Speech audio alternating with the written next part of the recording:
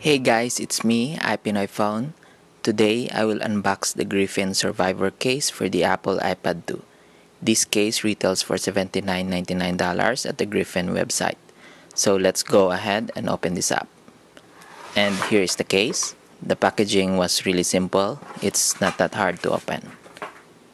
Here is an instruction on how to install the case on the iPad 2, how to use the included stand, and how to manage the port covers. So yeah, that's nice that they included this. Let's take the plastic covering off first. So here's the survivor case for the iPad 2 from Griffin. I will now disassemble this and I will be right back.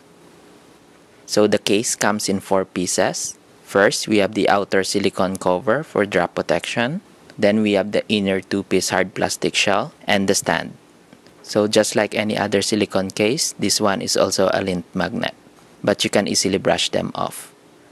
As you can see, the silicone cover is heavily padded. This will definitely help protect the iPad from any damage. The silicone also features the port covers to protect the iPad's ports and controls. This small cutout is where the port covers anchors itself, so that it will leave the port open and accessible. The inside of the silicone is lined with this waffle-like design. These cutouts absorb shock in case you drop your iPad or hit it against a solid object. The silicone case is really thick and very strong. Next, we have the two-piece hard plastic shell that covers the front and the back of the iPad 2. The front piece has the cutouts for the home button as well as the FaceTime camera. It also has a built-in screen shield to protect the iPad's display. The back piece features some padding to protect the back of the iPad 2 while it's inside the case. It also has the cutouts for the speaker and the dock connector as well as the camera, so everything is still accessible.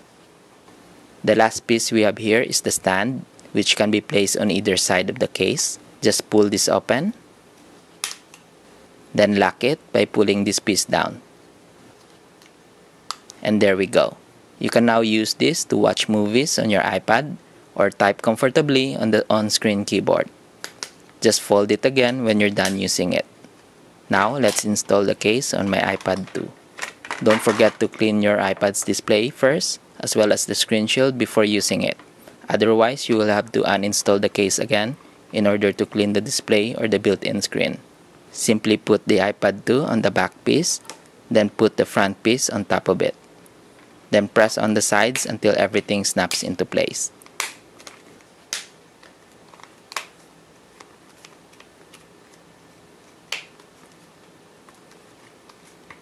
Next, let's insert the iPad 2 with the hard plastic shell on inside the silicone case. Let's do this bottom side first. Then just carefully wrap the silicone cover around the hard plastic shell.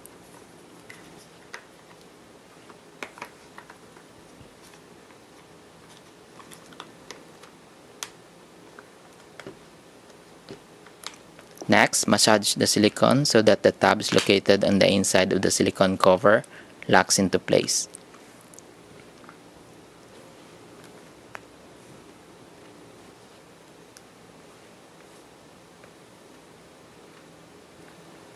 Next, let's install the stand on the case. Again, you can put this on either side of the case. I actually prefer this more than the stands on the OtterBox Defender case or on the Seidio Active case because it is very minimalistic. You cannot even tell that it's a stand. Aside from the built-in screen shield, there is also a lay on the table design at the front to protect the iPad's display. As you can see, the case is really bulky and it also adds a little bit of weight. At the top, we have the cutout and the cover for the secondary mic. Here's the cutout and cover for the headset jack. And here's the power button which is covered but still responds very well when pressed. Here's the cutout for the FaceTime camera. At the side, the volume buttons are also covered. And here's the cutout and cover for the silent switch. The covered home button is also responsive as you can see. The same goes with the volume buttons. At the bottom, we have the cutout and the cover for the dock connector, which is really hard to open if you have a short nail. Here is the cutout and cover for the speaker. If you don't lift it up, you can still hear the sound but it's not as loud. The extra padding on the sides also provides a better grip of the iPad 2 so you don't accidentally drop it. Inside the port cover, there's a tab. You insert this tab on the hole located near the cutout.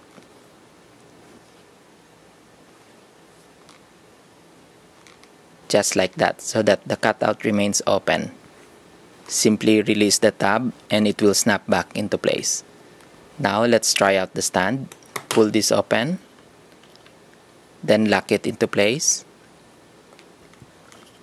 Okay. Now I can enjoy watching movies on my iPad 2 or do FaceTime with my friends. Flip it around and set it down like this so you can type on the on-screen keyboard at a comfortable angle. After using it, just fold it back again and there we go. So overall, I really like the Griffin Survivor case.